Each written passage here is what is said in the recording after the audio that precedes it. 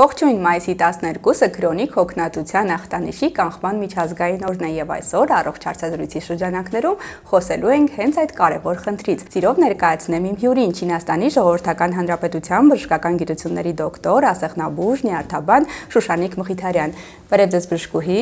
Շնորհակալ եմ, որ միացել եք առողջ նախագծին եւ այսօր հենց ձեր անմիջական մասնակցությամբ պետք է փորձենք խոսել քրոնիկ հոգնածության մասին։ Ես կարծում եմ դա մեր առօրյան է։ Դա 21-րդ տարի եւ եկող տարերի առօրյան է։ Քրոնիկ հոգնածություն ասածը գալիս է մեր կենցաղից։ Դա ներառում է ոչ ճիշտ ապրելակերպ, ոչ ճիշտ ցննդակարգ, քնի պակասը, աշխատանքային ռեժիմի պակասը, ամբողջ շրջապատի ստրեսային վիճակները։ Լավ, իսկ որոնք կարող են լինել կանխման տարբերակները։ Ամբողջ խնդիրը նա է, որ մենք պիտի կարգավորենք մեր կենսակերպը։ Առողջացնենք, ես կասեի։ Այո, առաջի հերթին պիտի կարողանանք այսպես ասեմ, աուտոտրեյնինգով զբաղվենք եւ ստրեսներին այդքան բարձր ռեակտիվ ռեակցիաներ չտանք, հա։ Պիտի կարողանանք ավելի սառը նայենք այդ երևույթներին, հա։ Կարևորենք թերևս նաեւ հանգիստը,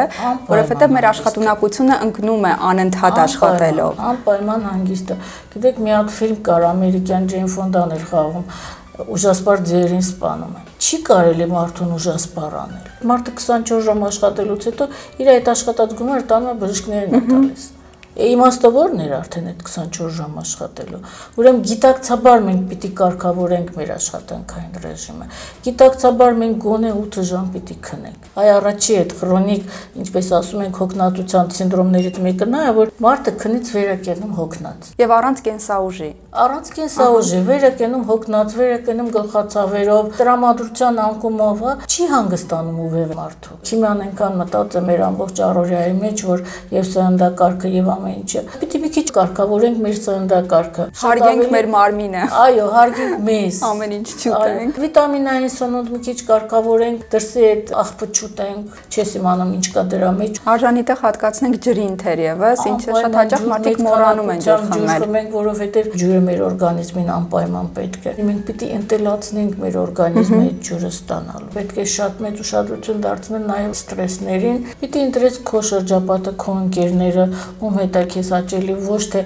պարտավորված ինչ որ բան անելու համար անես դա Ահա։ Ինչ պետք է մեզ սիրենք մեր խոսքով։ Լավ, իսկ եթե այնուամենայնիվ խնդիրն արդեն արկա է եւ օրեցօր խորանում է, արդեն մասնագիտական առումով, դուք որպես նյարդաբան, որպես ասեղնաբույժ, ինչ առաջարկ ունեք այդ մարդկանց։ Որևէ տաբուներ չպիտի դնենք, չէ միայն սա կամ միայն սա։ Պիտի մտածել բոլոր այն մեթոդների մասին, որ կարող են մարդուն տվյալ վիճակից։ Այսպես ասած մարդակենտրոն մոտեցում անհրաժեշտ։ Այս տեսակետից ես կարծում եմ դա իմ անձնական տեսակետն է, որ չինական բժշկությունը բավական մեծ առավելություններ ունի։ Ինչու, որտեղ ես միշտ ասում եմ, որ մենք օգտագործում ենք մեր օրգանիզմի ռեզերվների 5-ից 8%-ը։ Եթե մենք կարողանանք հասնել նրան, որ գոնե լրացուցիչ մի 5% էլ ավել է,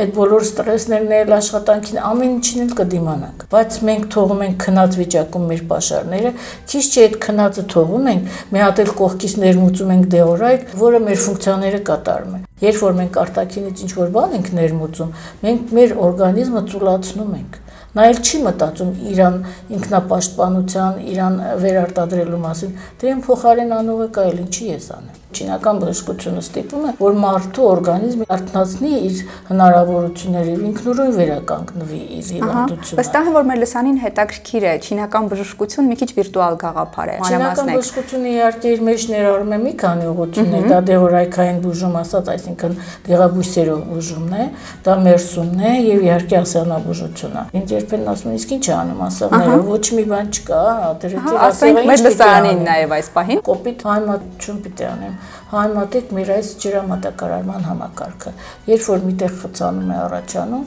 միտեղ ջուրը հավաքում թափում է, մյուստեղը դատարկ է, չէ՞ մնում։ Ինչ ենք անում։ Մենք խցանում է բացում ենք, ջրամատակարարման ազատ հոսքը ապահովում ենք եւ ամեն ինչ նորմալ է։ Նույնը կատարում են ասեղները։ Մեր օրգանիզմում կան էներգետիկ մերիդիաններ, որտեղով հոսում է կենսական էներգիան։ Հիմա ասեղների ֆունկցիան ո՞րն է, որpիսի այդ, որ ասում ենք, երբ որ առաջանում է հիվանդություն, որևէ միրիդիանում առաջանում է որևէ էներգետիկ խցանում։ ասեղների ֆունկցիան այդ խցանումները բացելն է։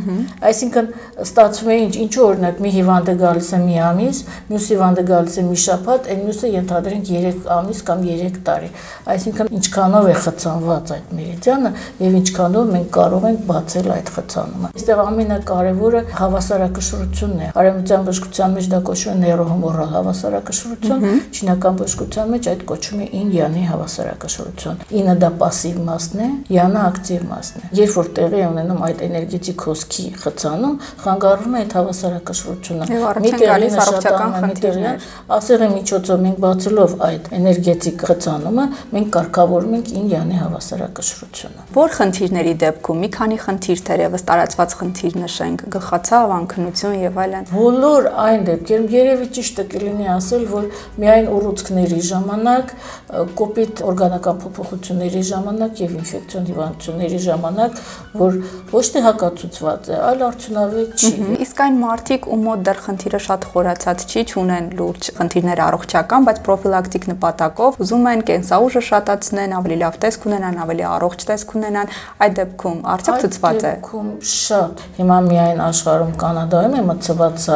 պարտադիր բժշկության ցուցակի մեջ ասեղնաբուժությունը։ Ես կարծում եմ, որ սա պետք է մտցնել պարտադիր պրոֆիլակտիկ բուժման մեջ, որովհետև սրանով մարդը գոնե տարին մի անգամ ստանալով իր պրոֆիլակտիկ բուժումը բարձրացնելով այդ իմունիտետը հազար տեսակ այդ իմունոպաշտպան այդ հավերը կուլ տալու փոխարեն գա եւ ստանա այս բուժումը, իրան լրիվ բավարար է, որ կարողանա դիմադրի բոլոր այս արտաքին ազդակներին։ Գիտեք, սխալ մի հատ կարծիք կա արևմտյան բժշկության մեջ, այս բժշկությունը նայում են որպես ֆիզիոթերապիա, որպես վերականգնողական մեթոդ։ Ոչ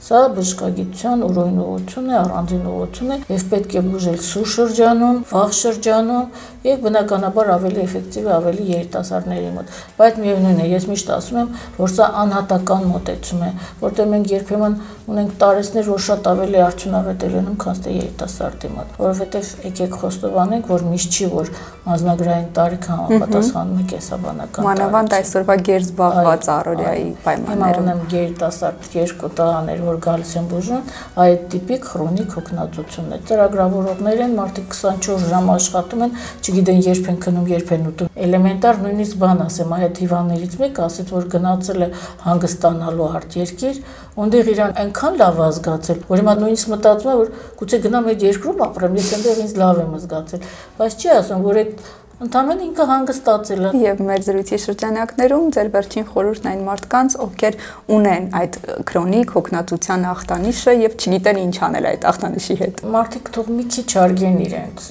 մի քիչ սիրեն իրենց, դա էլ մշակույթ է։ Երբ որ հարգեն, սիրեն իրենց, մտածեն իրենց քնի կարգավորման, կեսակերպի կարգավորման համար, այդ ժամանակ կարիք չի լինի ոչ ինձ դիմելու, ոչ որևէ բժշկի դիմելու, որտեղ այդ ժամանակ իրենք առողջ կլինեն։ Լավ, իսկ եթե այնուամենայնիվ խնդիրն արդեն խորացած է, ապա պետք է դիմեն համապատասխան ճիշտ փորձառու մասնագետի, որպեսզի խնդրին լուծում տրվի ժամանակին։ Անպայման պետք է, ես միշտ ասում եմ, ես պրոֆեսիոնալիզմի կողմնակից եմ, անկախ որևէ բժշկի պիտի դիմեմ, բայց պետք է աշխատեն դիմել գրագետ բժշկի, որպեսզի չշահարկվի իրենց հիվանդությունը։ Շնորհակալ եմ այսքան գրագետ եւ առողջ խորհրդատվության համար։